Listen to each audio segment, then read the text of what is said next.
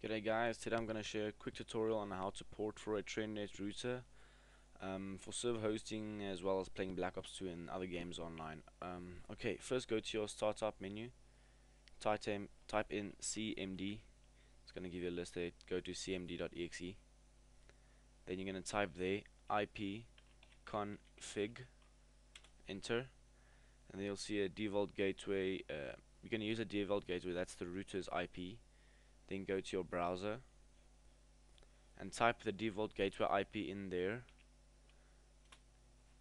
And then it's going to ask you for a username and a password. Um, it should be admin and admin if your parents didn't set it. Um, otherwise just go ask them then log in.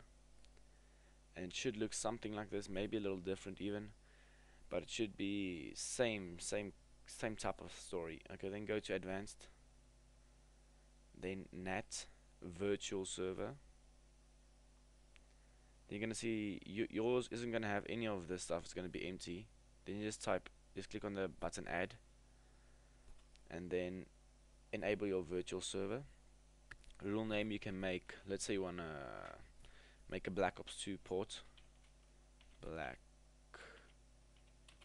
Ops 2 you put the port you want EG 270 19 you have to put it in both 27019 on the public port and the private ports.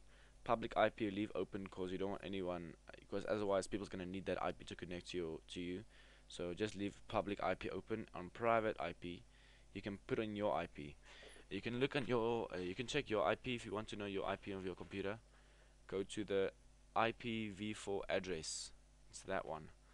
I already know know mine out of my head so 192.168.10.97 and then apply. Make sure your protocol is TCP and UDP and then just press apply. And then you're you're basically done. Um, your port is forwarded.